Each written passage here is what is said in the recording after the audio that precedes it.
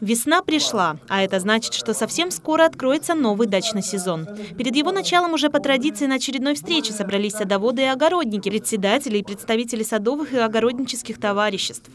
У садоводов накопилось много проблем не только по земле и строениям, но и по свету, по газу, по дорогам и другим вопросам. Все те проблемы, которые есть, мы ставим сегодня во главу угла, и я думаю, что в дальнейшем нам легче будет работать.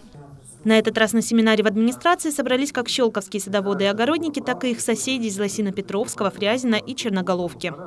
Обсудить ряд насущных проблем связанных с оформлениями объектов, с оформлением земельных участков, с кадастрированием объектов, вопросы, связанные с коммуникациями, которые обеспечивают ваши объекты на земельных участках, вопросы налогообложения. Темы обсуждения касались 217-го федерального закона о ведении гражданами садоводства и огородничества. Отдельно затронули вопросы дачной амнистии, лицензирования скважин, а также вывоза мусора. Мусор.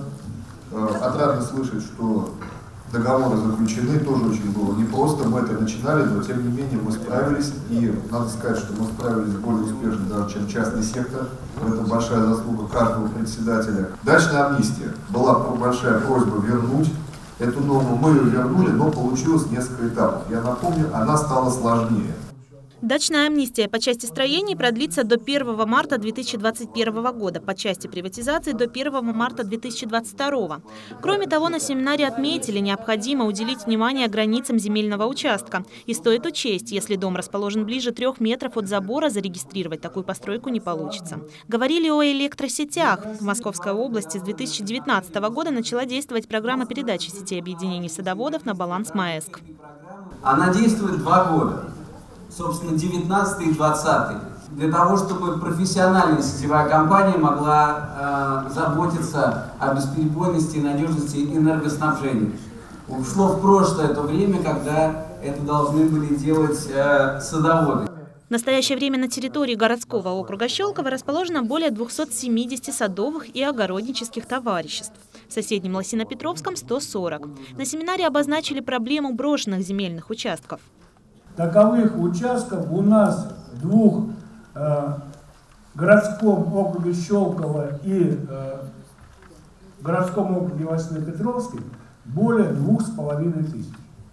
Вы понимаете, что это тяжелым бременем ложится на председателя.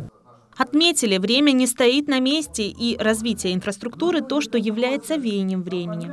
На следующий год у нас запланирована газификация 9 СНТ. Анатолий Николаевич знает, он доведет. Э, у нас две новых дороги.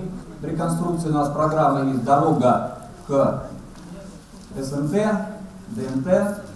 И э, порядка 10 дорог запланированы для ремонта. В настоящее время в рамках ГБУ уже э, запущена новая акция это ветераны Великой Отечественной войны по оформлению недвижимости и земли. Работа будет выполняться за условный рубль. И запущена новая акция, это многодетным семьям представляется скидка 20% на межевание и подготовку технических планов. В день семинара депутат Московской областной думы Владимир Шапкин наградил почетными грамотами руководителей садовых товариществ за образцовое ведение приусадебного хозяйства.